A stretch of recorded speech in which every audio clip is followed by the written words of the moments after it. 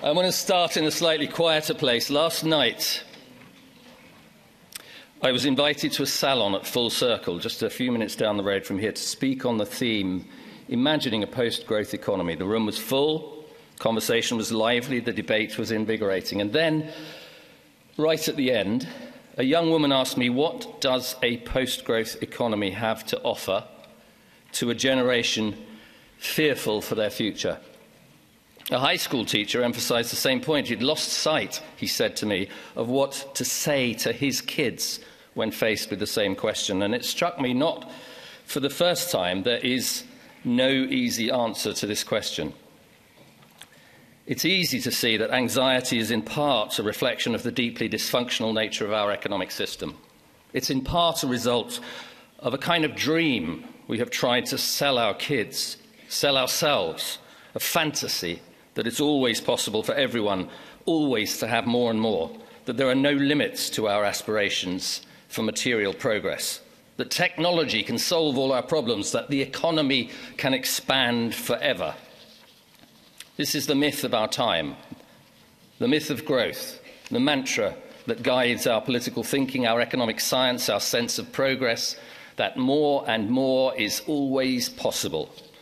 And now and you don't need me to tell you this either, that myth has become dangerously unravelled. It's bequeathed the climate in crisis, an unprecedented loss of nature, it's triggered financial instability, it's legitimised austerity, it has contributed to war, it has been possible for the few, only at the expense of impoverishing many. Our pursuit, our obsessive pursuit of economic growth has even blinded us to what mainstream economists now recognise as a new normal. A gradual decline in the growth rate, not just because of Ukraine, not just because of COVID, not just a hangover from the financial crisis or the misplaced austerity that attempted to fix it, but a secular stagnation across the OECD nations that has been creeping up on us for decades. This new world is one we are totally unprepared for.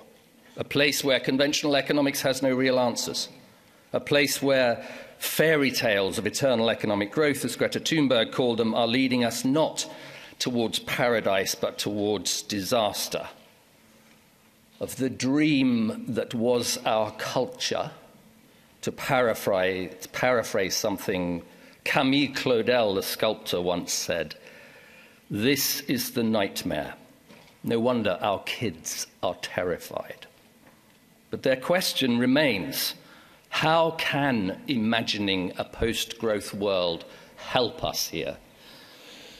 I believe it can help in three distinct ways. It can turn the concept of limits on its head. It can focus our minds on core characteristics of a post growth economy. And it can bring into focus more clearly than ever before the nature of the struggle we now face. Let me say a little about each of these things in the time I have today. When the Club of Rome published its Limits to Growth report back in 1972, economists and politicians lined up to condemn it.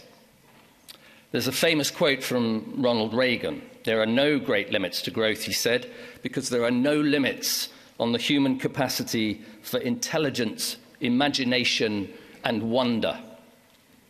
Shortly before the pandemic in January 2020, another remarkably insightful US president gave a speech in Davos condemning climate activists, young people with exactly the same anxieties raised in the salon yesterday. To embrace the possibilities of tomorrow, he said, we must reject the perennial prophets of doom and their predictions of apocalypse. They are the heirs of yesterday's foolish fortune tellers. Our hero gazed across the savannah of upturned faces towards the horizon of endless possibility. Paradise is a land forged by a frontier mentality.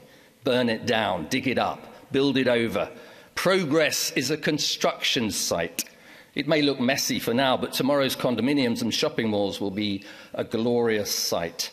Let those who doubt this vision perish. The school kids, the climate activists, the extinction rebels, they can all go to hell. This rejection of limits is a massive cultural blind spot. The relentless pursuit of more blinds us to human nature. It prioritizes, it institutionalizes voracious greed, but it neglects our deepest needs for belonging, for connection, for community, for a sense of purpose and meaning. It precipitates a casual swipe right consumerism that promises the world but leaves us ultimately endlessly unsatisfied. Characterizing prosperity as the relentless accumulation of wealth is nothing more than a denial of our humanity, a denial of the interdependent web of life on planet Earth, a denial of death. It appears to offer us consolation but it cannot extinguish the anguish in our souls, the longing for something deeper. Now, we're on difficult ground here. If we teach our kids there are no limits at all, they will become disillusioned, dysfunctional adults. But if we suggest that the world is a dark and foreboding prison full of limits, they will never achieve their full potential. But retrenchment and denial are not the only response to the reality of limits. Adaptation offers a far more creative alternative. Human and earthly limits, properly understood, said the conservationist Wendell Berry, are not confinements, but rather inducements to fullness of relationship and meaning. Beyond our material limits, beyond growth he was suggesting, lies another world, a place worth visiting, an investment worth making.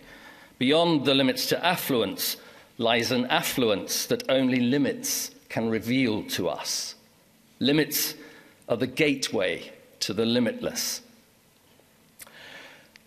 I believe this insight is part of an answer to the anxiety expressed yesterday so eloquently a way of looking at the world and being in the world that allows for realism but encourages aspiration.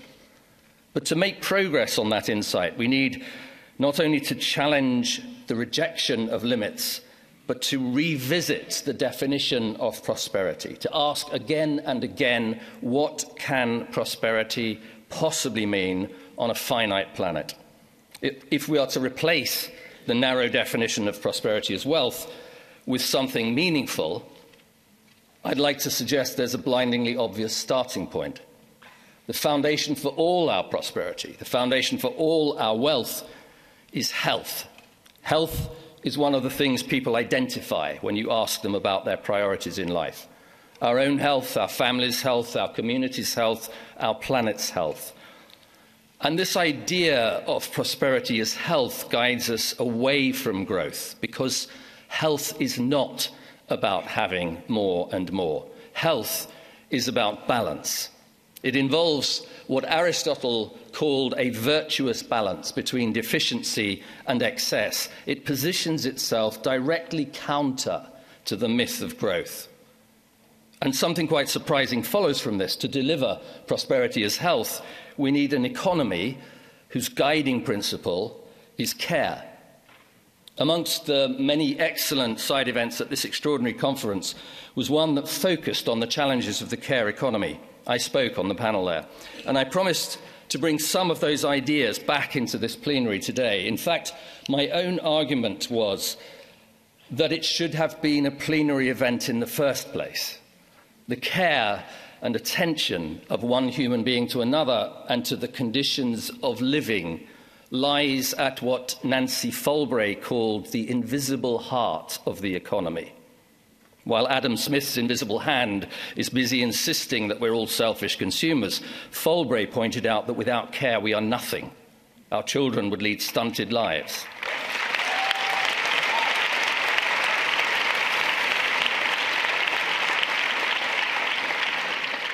Our children would lead stunted lives, the sick would find no respite, the dying no solace. Our societies are nothing. Our progress means nothing. Without care, there is no economy, not even at the most basic level. The COVID pandemic brought that home to us forcefully. but its lessons are already slipping from our minds. They must not be allowed to. The care economy is not just a sideshow in the search for a post growth world, it is the blueprint for it. Feminist economists have been making this argument for decades. The lion's share of care work, paid and unpaid, is done by women, and quite possibly because of this, care work has been denigrated in modern society, not accidentally, not inadvertently, but systematically. Capitalism externalizes the burden of care in much the same way that it externalizes nature by counting the wrong things, by valuing the wrong things, by focusing on narrow defi definitions of productivity that privilege profits over wages and working conditions, by rigging the rules of the game, and by refusing to change. And this brings me to my third and final point. There is no doubt we are confronted with a profound dilemma, perhaps the most profound dilemma of our times. Growth is unsustainable, but the world beyond growth is frightening. We have built an economy that's dependent on growth. We must learn anew how society works when the economy is not growing, how welfare systems work, how financial systems work, how government works. And we need to confront the impossibility theorems presented to us by those who resist change. If you think you are looking at a dysfunctional system that benefits no one, then you are probably not looking hard enough. The fine words and supportive gestures of those who cling to power hide vested interests intent on sabotaging progress.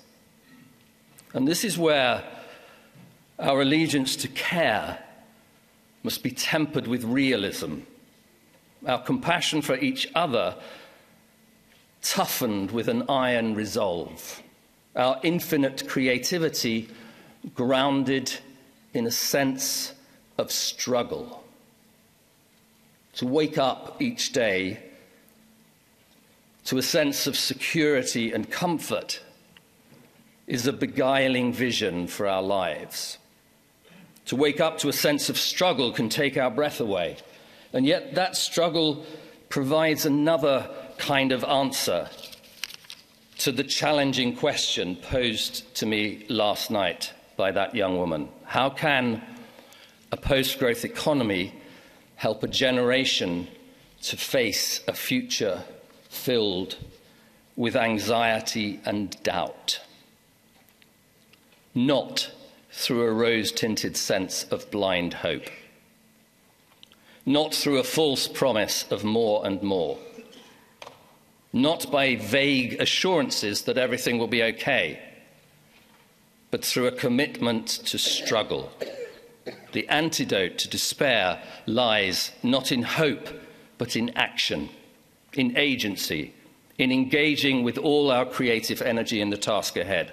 A path through the limits towards the limitless, a prosperity based not on wealth but on health, a struggle to unravel the systematic distortion of values that lies at the core of a broken capitalism, and to construct in its place an economy of care and craft and creativity fit for purpose on a finite planet.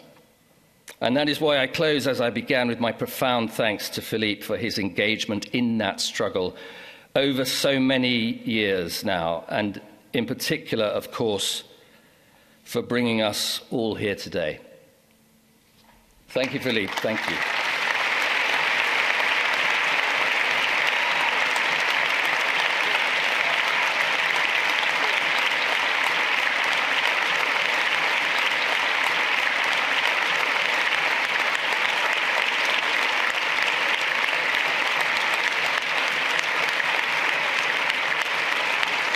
Thank you, Tim.